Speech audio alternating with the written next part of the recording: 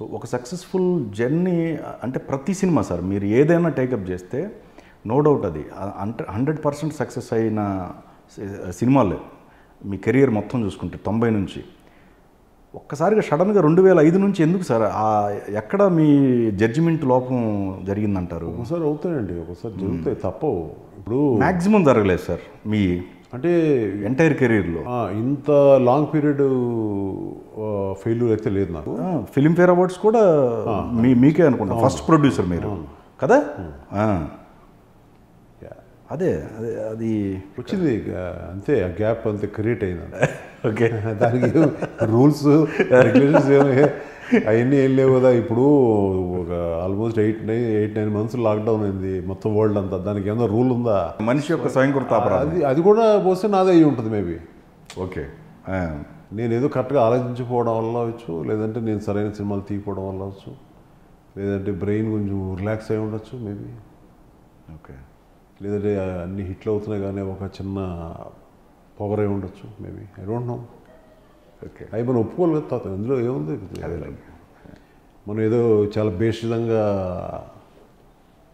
"నా, లేదులేండి దానికి వేరే ఉన్న రీజన్స్ అని ఎందుకు అబద్ధాలు చెప్పుకోవాలి? కానీ మీరు తీసిన అన్ని సెలెక్టివ్ సినిమాలు సార్. ప్రతిదీ కూడా. ఎంచుకునే కథలో కావచ్చు ఇది కానీ. అంటే ఫస్ట్ సినిమా దగ్గర నుంచి చూసుకుంటే. కానీ శత్రువుకు బిఫోర్ మీరు ప్రొడక్షన్ ఏదో వేరేది ఫ్రెండ్స్తో స్టార్ట్ చేయండి ఒక కజిన్ తోటి చేసాము. అంటే అర్జున్ తోటి ఒక సినిమా చేసాము. అది కూడా బాగా ఆడిందండి. అప్పుడు కోటరామకృష్ణ గారు పరిచయం నాకు బాగా. ఓకే.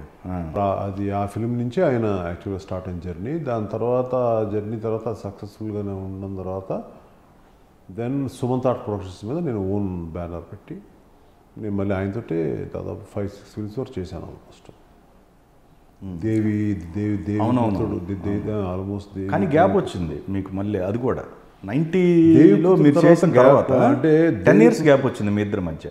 మా ఇద్దరి మధ్య టెన్ ఇయర్స్ గ్యాప్ రాలేదు. మళ్ళీ అయితే తీలే సినిమా నేను అదే దేవి కరెక్ట్ నేను దేవిపుత్రుడు తర్వాత మళ్ళీ సినిమా చేయలే.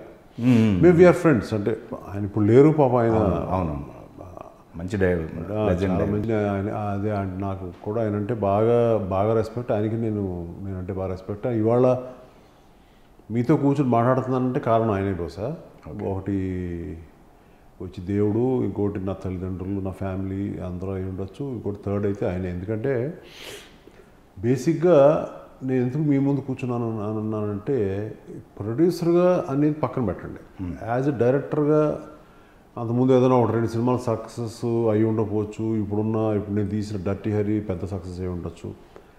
బట్ దానికి డైరెక్టర్ అవ్వాలనే ఒక ఇన్స్పిరేషన్ కలిగించింది ఆయన. ఒక డైరెక్టర్ ఇంకో డైరెక్టర్ అవ్వాలనే కోరిక ఉండదు.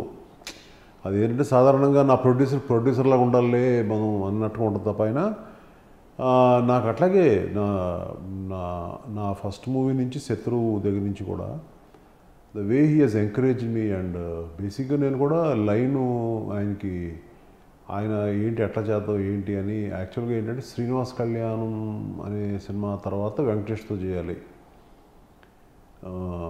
అని చెప్పి మేము మేము మేము అనుకున్నప్పుడు రకరకాల కథలు అయ్యి డిస్కషన్ జరిగినప్పుడు ఆయన కొంచెం ఫ్యామిలీ తరహాలోనే కొంచెం అంటే ఒక మంచి కుటుంబం నాగేశ్వర గారు.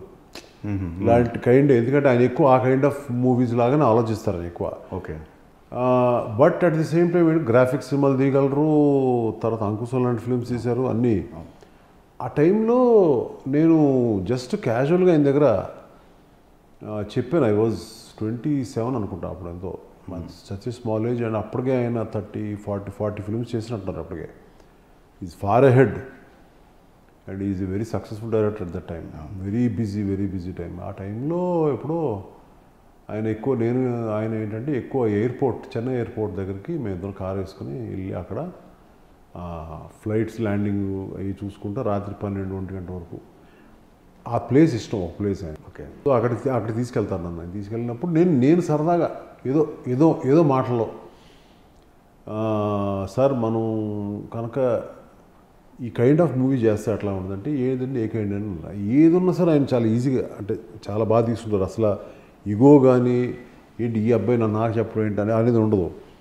అప్పుడు చట్టానికి కళ్ళు లాంటి ఫిలిం నాకు బాగా ఇష్టం. ఓకే. అది చట్టానికి కళ్ళు ఓ సినిమా ఉంది కదండి అందులో వచ్చి హీరో మెగాస్టార్ చిరంజీవి అప్పుడు ఆయన మన మెగాస్టార్ కాదనుకోండి బట్ ఇప్పుడు మనం అనుకోవాలి కాబట్టి సో మెగాస్టార్ అండి ఇట్లాగేమో అక్క క్యారెక్టర్ అందులో ఉంది కదా లక్ష్మి క్యారెక్టర్ ఆ అక్క క్యారెక్టర్ కనుక లవర్ చేస్తే అట్లుంటుంది. ఇతను క్రిమినల్ ఇతను సో ఆ అమ్మాయి ఏమో యాక్చువల్ లవరు. సో అట్లాగా ఒక రాధ ఒక విజయశాంతి అట్లాగా అంటే ఆయన అన్నారు లేదు అది బాగుంది ఐడియా బాబు సో అందువల్ల మనం దీన్ని ఎలా చేద్దాం ఏంటనేది మీరు ఒక ఐడియా ఐడియాగా మీరు చేసుకురండి అని చెప్పారు ఆయన. మీరు చేసుకురండి అండి ఆయన నేను సరదాగా అంటారేమో అనుకున్నా బట్ నిజంగానే ఆయన దాని తర్వాత జి సత్యమూర్తి గారిని ఇప్పుడు దేవిశ్రీ ప్రసాద్. ఆ, వాళ్ళ ఫాదర్ అప్పుడు అబ్బాయి చిన్నోడు. అబ్బా సో ఆయనని నేను నేను ఎందుకు అప్రోచ్ అయ్యింది తెలియదు ఏదో ఊరికే బుక్ ఉండేది ఒక బుక్ ఇలాంటిది ఉండే. అందులో ఏంటి రైటర్లు అంటే సత్యమూర్తి గారి పేరు చూసి ఆయన ఏ సినిమాలు చేశారంటే అప్పుడు ఆయన ఆయనకి ఫోన్ చేసి వెళ్ళాను. ఆయన ఫోన్ చేసి వెళ్తే ఆయన దగ్గర టక్కన అడ్వాన్స్ ఇచ్చాను. అప్పట్లో పాతిక వేలు ఎంతో ఇచ్చాను అడ్వాన్స్ ఇచ్చేసి సార్ ఇలాగా ఇలా ఇలా అనుకుంటున్నానండి ఐడియా ఇట్లా అనుకుంటా అని చెప్పేసి వెళ్ళిపోయాను. తర్వాత ఒక రెండు నెలలు మూడు నెలలు ఆయన దగ్గరికి వెళ్ళా. తర్వాత ఆయనే ఫోన్ చేశారు. ఏంటండి మీ అడ్వాన్స్ నా దగ్గర ఉండిపోయింది. మీరు ఏంటంటే లేదు లేదు వస్తానని చెప్పి మళ్ళీ. అప్పుడు అప్పుడు ఆయనతో కూర్చుని ఒక ఆర్డర్ వేసాం. ఓకే. అప్పుడు అప్పుడు ముందు కూర్చొని ఆర్డర్ వేసాం. ఆర్డర్ వేసిన దాన్ని అప్పుడు మా డైరెక్టర్ గారిని పిలిచి సార్ ఒకసారి జస్ట్ ఊరికే వినండి అంటే ఆయన నిజంగానే ఇన్స్పైర్ అయ్యారు. ఇన్స్పైర్ అయ్యి బాగుంది ఇందులో కొంచెం సీరియస్గా ఉంది ఓవరాల్గా. ఒక క్యారెక్టర్ చెప్తాను మీకు అని చెప్పి కోట శ్రీనివాస్ గారి క్యారెక్టర్. ఈ ఫోన్ ఎవరు కనిపెట్టాడు బాబు అనేది అక్కడి నుంచి వచ్చింది. ఓకే. ఆ క్యారెక్టర్ ఎప్పుడైతే చెప్పారో సినిమాలో ఏదైతే ఒక సీరియస్ మోడ్ అయితే ఉందో ఇది ఎప్పుడైతే ఫన్ అయితే వచ్చిందో అది సినిమాకి మేము ఎంత కథ చేసినా కూడా ఆ క్యారెక్టర్ అనేది కూడా ఒక ఒక ఒక హై రేంజ్ హీరో హీరోయిన్ తోటి ఈక్వల్గా క్యారెక్టర్ని ఆయన పండించారు ఆ సినిమాలో. సో అట్లా ఏం చేయొచ్చు? ఒక స్టోరీ ఇలా చేయొచ్చు. లేదంటే స్టోరీ చేసిన తర్వాత ఇటువంటి యాడింగ్స్ ఉంటే ఆ సినిమా స్ట్రెంత్ ఎంత ఉంటుంది? కరెక్ట్. ఎస్ ఇంకోటి ఏంటంటే ఆయన నాకు మేజర్గా ఈ మ్యూజిక్ సిటీకి వచ్చేవారు. ఎందుకంటే వాస్ టూ బిజీ దాదాపు ఒకేసారి నాలుగైదు సినిమాలు జరుగుతుంది అప్పుడు రాజ్కోటిని అనుకుని కూర్చున్నప్పుడు కూడా మన మ్యూజిక్ అన్నీ కూడా మేము చేసుకుంటా. ఆయనతో మాట్లాడేటప్పుడు సార్ ఇది ఒకసారి జస్ట్ వినండి. అంటే మీకు నచ్చింది కదా బాగుంది. లేదు ఒకసారి వినండి. బాగుందండి. సో అట్లా అట్లా అట్లా ఏంటంటే నేను నేను తెలియకుండా నాలో ఒక స్టోరీ రైటర్ బయటకు వచ్చాడు నాలో తెలియకుండా ఒక డైరెక్టర్ బయటకు వచ్చాడు అప్పటి నుంచే. Okay okay. సో ఏదైనా బేసిక్గా ఆయన ఎప్పుడన్నా లేనప్పుడు చిన్న చిన్న బిట్స్ ఏమైనా ఉంటే ఆయన మామూలుగా అసిస్టెంట్స్కి వాళ్ళకి అప్ చెప్పేసి ఎప్పుడు వెళ్ళేవారు కాదు. But in case in some times అప్పుడు ఏమంటే ప్రొడ్యూసర్ గారు ఎట్లండి? మీరు ఈ ఈ షాట్లు దగ్గర ఉండండి అని చెప్పి నాతో అది. సో అంత ఈ was so actual open right he he does he didn't have నీకు అప్పుడు. ఆ కాలంలో ఏంటంటే ఈవెన్ రాఘవేంద్ర గారు కానీ దాసనారాయణరావు గారు కానీ లేదా కోటరామకృష్ణ గారు కోదనామరెడ్డి గారు there are so many names వీళ్ళందరికీ ఏంటంటే ఒక ప్రొడ్యూసర్ అంటే ఒక ఒక రియల్ రియల్ బ్యాక్ బోన్ అనేది ఒక ఉండేది ఒక ఫీలింగ్ సో అది దట్ ఈస్ గివెన్ ఆ స్ఫూర్తి. అంటే నేను చెప్పేది ఒక ఒక డైరెక్టర్గా ఒక సక్సెస్ఫుల్ నేను అంటే ఒక అన్సక్సెస్ఫుల్ ఫిల్మ్ డైరెక్ట్ చేసిన తర్వాత ఒక సక్సెస్ఫుల్ ఫిల్మ్ డైరెక్ట్ చేసిన తర్వాత మీ ఎదురుగుండా ఇప్పుడు నేను వచ్చి కూర్చున్నానంటే దానికి కారణం ఆయనే. ఓకే రైట్ ఇంకోటి సార్ ఇప్పుడు ఓకే కోటి రామకృష్ణ గారుతో పాటుగా అట్లా అంటే సీనియర్ డైరెక్టర్లే కాకుండా మీరు యంగ్స్టర్స్ని కూడా అంటే కొత్త దర్శకులను కూడా మీ బ్యానర్లో పరిచయం చేశారు. అది ఒక స్టేజ్ తర్వాత.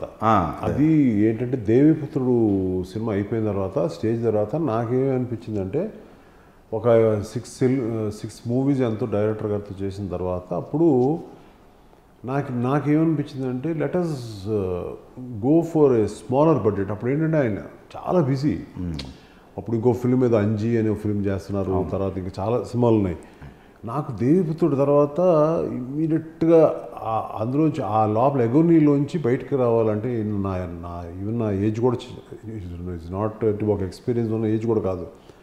ఇందులోంచి ఇమీడియట్గా బయటకు రావాలంటే ఏంటి అని అన్నప్పుడు నాలో ఎక్కడో ఒక స్ట్రాంగ్ మోటివ్ ఏంటంటే ఒక కథ పుట్టేలా చేసింది. ఎక్కడో ఒక ఏదో పాత ఓల్డెస్ట్ మూవీలో ఉన్న క్యారెక్టర్స్ రెండు ఇన్స్పైర్ అయినా కూడా ఇలాంటిది ఏదన్నా తీసి ఇప్పుడున్న మోడర్న్ దానికి దాన్ని బాగా అన్వయించుకుని ఏదైనా చేద్దాము అని నాకు ఎప్పుడైతే థాట్ అనిపించిందో అప్పుడు ఆ టైంకి మేబీ ఆ టైంలో ఏంటంటే డైరెక్టర్ గారు చాలా చాలా ఉన్నాయి మూవీస్ సరే ఇప్పుడు నేను ఇంకా నేను ఆయన చెప్పాను sir I just want do a movie ఇది జస్ట్ అదేంటంటే బలీవుడ్ ప్లీజ్ గో హెడ్ ఎందుకంటే యు ఆర్ ఇప్పుడు మీలో ఒక ఇది ఇది వచ్చేసింది. So you so you know just what is what అని. అని తర్వాత అప్పుడు నేను మన ఈ- సినిమా ఉంది కదా మన సంతానమే యా యా పోయి సినిమా స్టార్ట్ చేయడం జరిగింది. అక్కడి నుంచి నేను అప్పుడు టోటల్ డిఫరెంట్ డిఫరెంట్ పీపుల్తో ఐ స్టార్టెడ్ వర్కింగ్.